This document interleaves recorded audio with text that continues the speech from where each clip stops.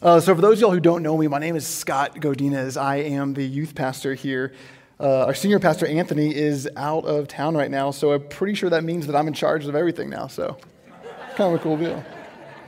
No, but really, he asked me to preach, and I, and I was super grateful for it. I love, absolutely love preaching. And, and speaking of being in love, or speaking of love, I'm going to see a show of hands really quick. How many people would say that they've been in love before?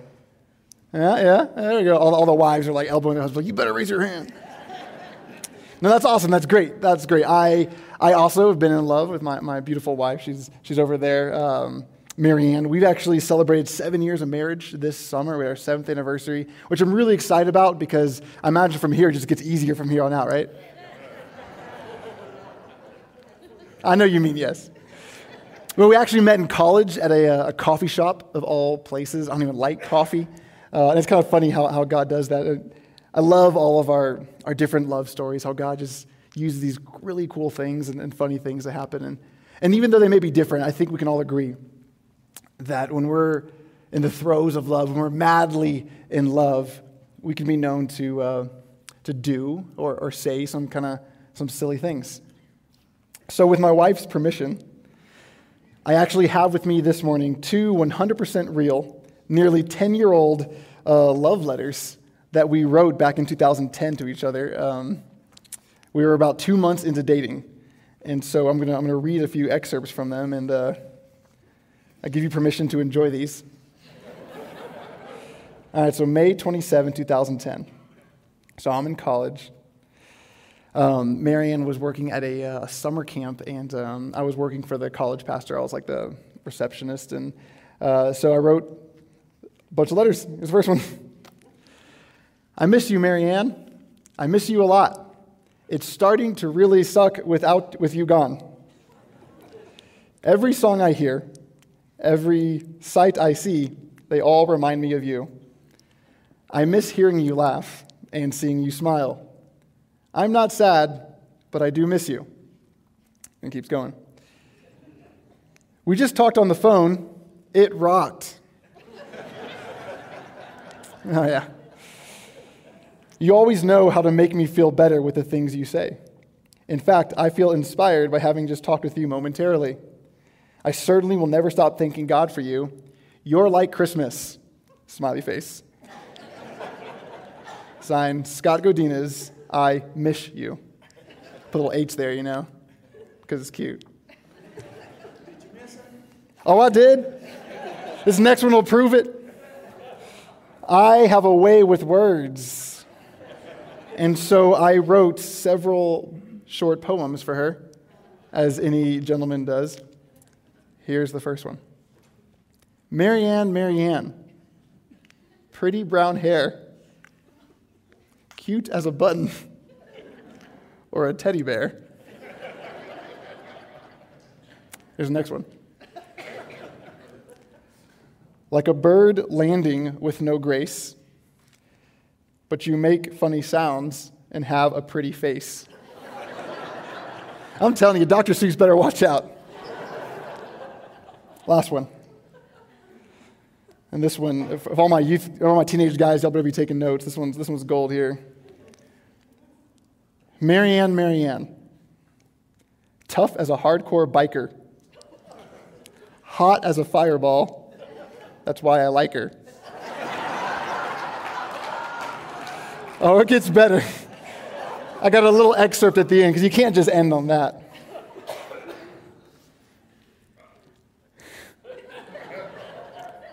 I wish my poem was as beautiful as you, but that's not possible. Oops, I spilled some Cheez Whiz all over my previous sentence. Ha ha ha ha. Get it? Because it's cheesy. if you don't believe in miracles, God is still working in souls like this. No, but I've actually upped my game. Last year I started writing haikus. I got a whole little book of them for Marianne. So, no, it's great. But I wanted to share this with you today to emphasize how powerful, how influential our desires can be in our lives. You know, that summer, Mary and I, we wrote letters to each other practically every day. In fact, there was one day that um, I actually ran four miles to the post office in pouring rain because uh, I was completely broke and I had no money and I couldn't afford to put gas in my car. But somehow that was less of a concern to me than making sure I got my letter mailed off to Marianne on time. And obviously, it's not revolutionary to say that our desires tend to dictate our actions. This effect is seen in every relationship we have, and, and most especially in our relationship with God. See, when our deepest desires reflect the heart of God, we find ourselves seeking the will of God. So, right now, I want to share with you the entire point of this morning's message, like, like right here. It's obedience to God reaps the promises of God. Like, it's so simple, right? Like, I love the simplicity. We desire God, we obey God, we receive more of God through his promises. Throughout the Bible, we find simple truths like this one all over the place. And it's no surprise that it prompted men like Augustine to claim that the Bible is shallow enough for a child not to drown, but deep enough for an elephant to swim. So, in the spirit of Augustine's quote, I'm going to ask you to join me in the deep end. We're going to dive in a bit deeper to answer this bigger question How? If we need only obey God to receive his promises, why are so many Christians wallowing in their own sin? Why are so many people right here in Colorado turning away from God? Why are more and more Americans walking away from the church and identifying as unaffiliated with any religion? How does a person ensure the longevity of their walk with Jesus and the fulfillment of God's promises? And so we're going to be looking at Deuteronomy 4 9, but I want to just talk about Deuteronomy for a second. This book is easily one of the most influential books in the Old Testament. In fact, it's quoted more than 80 times in the New Testament, making it one of the most popular books to reference by New Testament authors. Jesus himself even referenced or used the verses from Deuteronomy against Satan when he was resisting the temptation in the wilderness. And so, where we are in this book is that the Hebrews, they've been wandering in the desert for 40 years as a result of this constant disobedience to God. And now they stood with the Jordan River before them, the promised land, a new generation invited to claim the promised land of God. It was an exciting occasion. So, we're going to catch up with Moses in the middle of one of his speeches to the Hebrews. He would use lessons from their past to try to prepare them for the future. Perhaps with this generation, they would remember the one true God, having learned from the mistakes of their parents. So, our first point here is that desire determines obedience. We're going to break up this verse into three parts. Moses begins with, Only take care and keep your soul diligently. Now, first, we need to really incorporate the context of this verse to accurately understand what Moses is talking about. We, we need to define the word soul. It's because we use the word soul to mean all sorts of things. We say things like, he's got soul, or she really put her heart and soul into starting that business. We have the code SOS for save our souls. We have other things like soul food, or, say, or we might say, he's gone soul searching. So, which definition are we to use in this context? Moses is using the word soul to mean our desires and choices. So much of this chapter, we're going to see Moses consistently urging the Hebrews to listen to the statutes and the rules and to do them, the things that God's called them to do. In just a few chapters, the widely recognized verse in Deuteronomy 6 5, also known as the greatest commandment You shall love the Lord your God with all your heart, with all your soul, and with all your might. See, Moses is commanding that our desires and actions be for God and God alone. The psalmist writes something similar to this in 42, Psalm 42 1.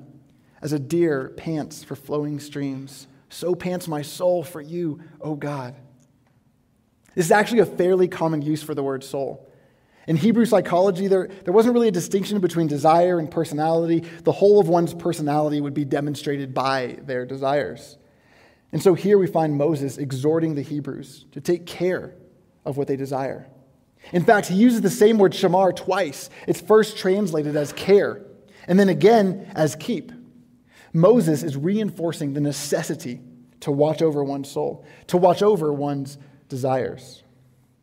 See, our desires are an extension of our priorities. Moses knew that this next generation coming into the promised land would inevitably face challenges that revealed their priorities. And if they allowed anything to become more important than their relationship with God, surely disaster would follow. The command from Moses is to guard our desires. But the challenge is how?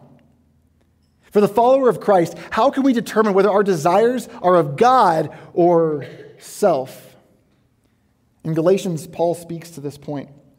Now, the works of the flesh are evident sexual immorality, impurity, sensuality, idolatry, sorcery, enmity, strife, jealousy, fits of anger, rivalries, dissensions, divisions, envy, excuse me, drunkenness, orgies, and things like these. I warn you, as I warned you before, that those who do such things will not inherit the kingdom of God. Let's compare these actions with the next verse when Paul details the works of the Spirit. But the fruit of the Spirit is love, joy, peace, patience, kindness, and goodness, faithfulness, gentleness, self control. Against such things there is no law.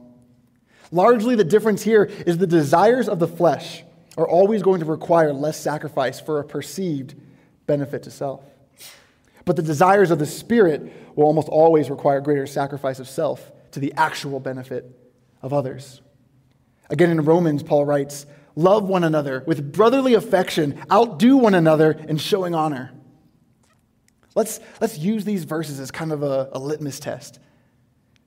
Consider any given desire or choice you might make and ask yourself which side of the spectrum might this decision most accurately reside? Is it going to be closer to the side that is self seeking, self serving, or the side that seeks to outdo one another and showing honor? And what if, what if we are on that side where we're self seeking and, and, we, we, we want to be over here? We want to be over here saying, God, help change my desires. How do we move from one side of the spectrum to the right side? And, and Paul comes in again. Do not be conformed to this world, but be transformed by the renewal of your mind, that by testing you may discern what is the will of God, what is good and acceptable and perfect. And I put ESV there because in, the, in, a moment I'm going to show you the same verse but a different translation. And this next translation is actually from uh, the message. And it's, it's more of like a commentary. It's going to kind of unpack. And I really like how it's going to communicate uh, the essence of, of, this, of this verse. So we'll look at it again in the message. So here's what I want you to do with God helping you take your everyday, ordinary life, your sleeping, eating, going to work, walking around life and place it before God as an offering. Embracing what God does for you is the best thing you can do for Him. Don't become so well adjusted to your culture that you fit into it without even thinking. Instead, fix your attention on God. You'll be changed from the inside out. Readily recognize what He wants from you and quickly respond to it. By fixing our attention on God, we concern ourselves with what God is concerned about. We keep our desires in sync with God, and we can avoid the consequence of forgetting the things of God. See, because without a desire for God, we will depart from God. This next part, Moses continues Lest you forget the things your eyes have seen, and lest they depart from your heart all the days of your life. It's really important to notice the, the progression of Moses' logic right here. Did you see the order? of what Moses just said. He makes it clear that through the keeping of our souls, we will remember all that God has done. We cannot simply have an awareness of what God has done and expect that memory to keep our souls. Moses is making it clear that actions are required from us to prevent us from forgetting God. This is cause for serious concern. To forget God would invite apathy toward truth and ultimately allow us to substitute our worship for God with worship toward something else. And this is exactly what Moses warned the Hebrews against, as we see in the later verses of chapter 4. Beware lest you act corruptly by making a carved image for yourselves in the form of any figure the likeness of male or female, the likeness of any animal that is on the earth, the likeness of any winged bird that flies in the air, the likeness of anything that creeps on the ground, the likeness of any fish that is in the water under the earth. And beware lest you raise your eyes to heaven, and when you see the sun and the moon and the stars, all the host of heaven, you be drawn away and bow down to them and serve them. Things that the Lord your God has allotted to all the peoples under the whole heaven. There's a lot to take in there, but what I want to draw your attention to is simply that when the people of God are not actively pursuing God with their choices and desires, then they will always drift from God. If you are not growing closer to God, you are drifting away from Him. There is no in between. But what's especially interesting to me in this speech is that Moses is giving examples. He's giving examples of what sort of idolatry they're most likely to suffer carved images in the likeness of man or woman, animals, even the sun, moon, and stars. Moses reminds us that we are people of God's great inheritance. And to submit ourselves before anything less than God would rob us of our inheritance. But in 2019, it's probably safe to say that most of us here are not worshiping golden cow statues in our kitchen, not praying to the moon or anything like that. Surely we're educated enough to recognize the futility of basing our lives around something so trivial and foolish. So I asked myself, what would Moses warn us about in 2019 at Cornerstone Church? What would Moses want us to be concerned about in Colorado? See, I'm confident that Moses' warning didn't appear as silly when he said it as it does, as it does today when we read it. So, what subtle idolatry might seep into our lives that perhaps has gone unnoticed? or worse, accepted. Let me tell you a story about a church in Walden, Colorado. I was invited to preach there a few years ago, and if you've ever been to Walden, you know that it's not a very big town. Uh, Walden boasts a population just shy of about 600 people. And uh, in some seasons, the moose can outnumber the residents. So I've been asked to come in as a, as a guest speaker. And while I was there, I got to speak with the pastor about the church, and he shared with me three stories the first story was a brief history of the church, how it once was this beacon in the small community. And now, after years of infighting and strife, the church had dwindled to about eight people, none younger than 65. The church was literally dying off one at a time. The last decision the church made when it was in operational health was a desperate move to surrender all the rights of their church, everything they owned, all their, I don't know how churches work, but all their stuff to the Colorado Baptist Convention, hoping that the convention would be able to leverage its resources and funding to help the church, help keep the church running. And through that process, it also allowed the convention to bring in a new pastor. He shared with me that if the church still had any say in his employment, they likely would have fired him months after he arrived. Because there was so much resistance to his passion to reach the community. Second story was really encouraging, though.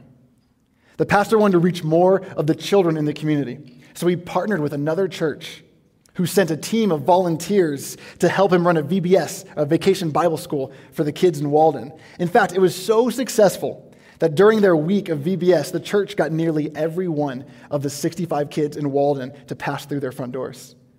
He described it like, like the kind of spiritual revival you read in the book of Acts.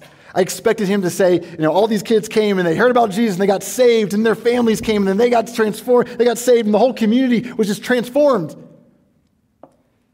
But in less than two weeks, not a single kid remained at that church.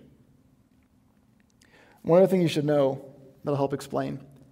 When the pastor toured me around the small church, he took me to the basement and showed me one of the most well organized food bank ministries I've ever seen in my life. Like it straight up looked like a Trader Joe's or like a, like a Whole Foods down there. Every shelf was perfectly manicured. It was an organizational paradise. And they had a ton of food too. Like it took up almost half the space in the basement. The pastor told me how passionate the members of the church were to develop this ministry. It was one of the things the church was known for in the community.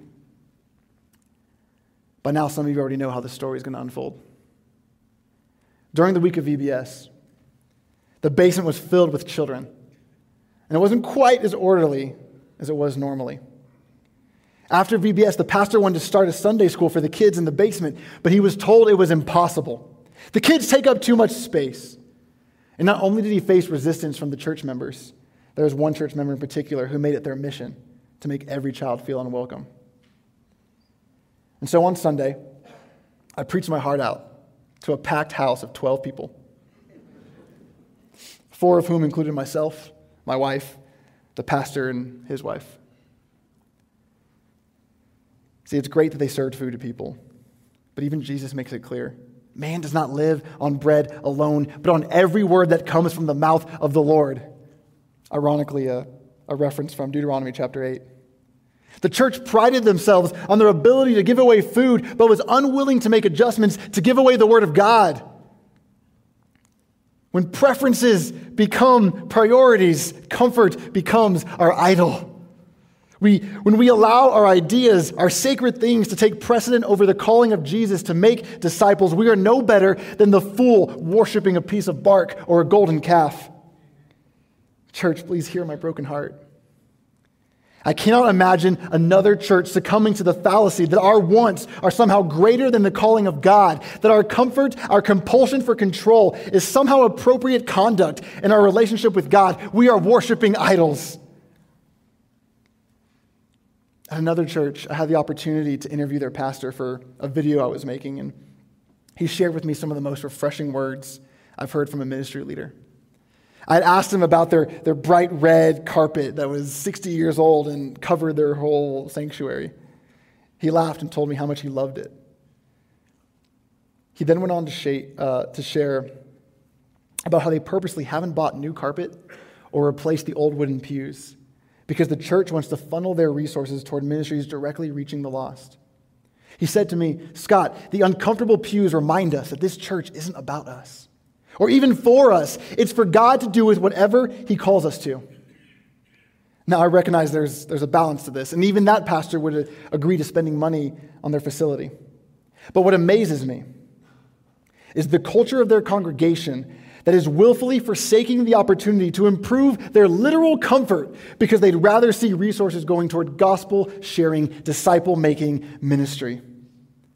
Since that conversation five years ago, that church has planted more than 15 new churches across Colorado, Wyoming, Missouri, and California. There is too much at stake for a church to remain stagnant. We rob ourselves of the promises of God, our infinite inheritance, when we build a church around our personal desires and comfort zones. If we elevate our preferences, our comfort, and seek to establish a boundary dividing the saints from the ain'ts, Jesus makes it clear that he is the true authority in the church, and his words ring heavily. Nevertheless, I have this against you, that you have left your first love. Remember, therefore, from where you have fallen, repent and do the first works, or else I will come to you quickly and remove your lampstand from its place unless you repent. May this never be said of us or any church.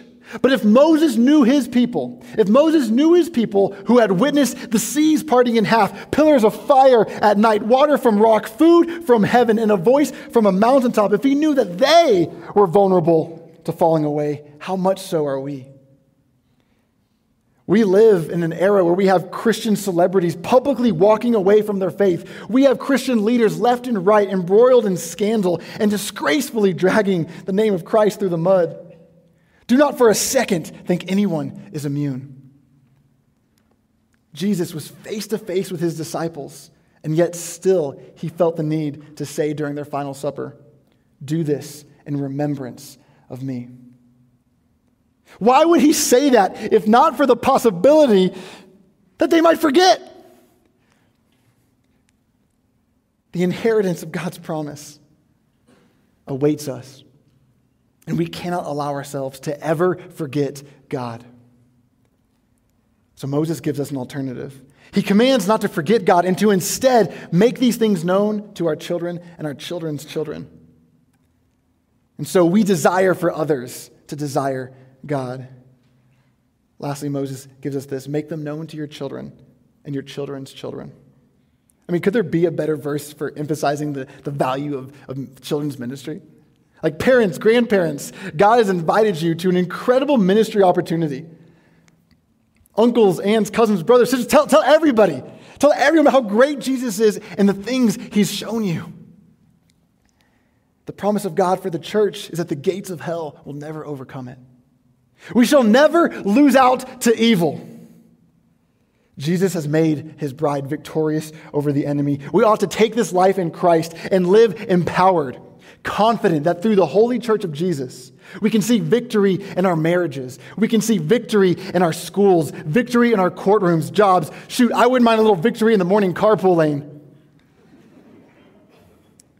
Dear Christian, We're not called to be passive surfboard Christians, waiting for that perfect wave, that stars aligning moment when everything works out and is super easy for that chance to share the gospel with someone.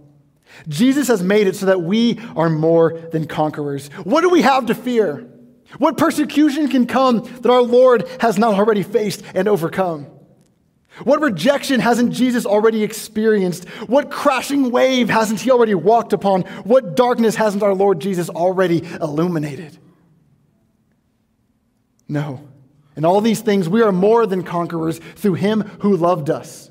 For I am sure that neither death, nor life, nor angels, nor rulers, nor things present, nor things to come, nor powers, nor height, nor depth, nor anything else in all creation will be able to separate us from the love of God in Christ Jesus our Lord.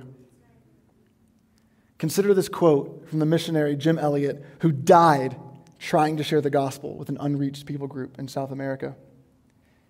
He is no fool who gives what he cannot keep to gain that which he cannot lose. In your obedience to God, you have the infinite inheritance of God's blessing and promise before you. How badly do you hunger for it?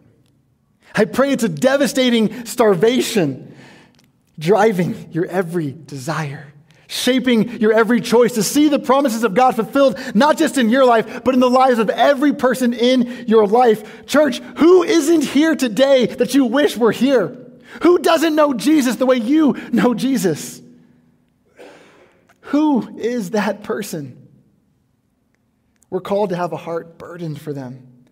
No preference, no iota of comfort, no anything will stand in our way to reach out to them with the good news of Jesus.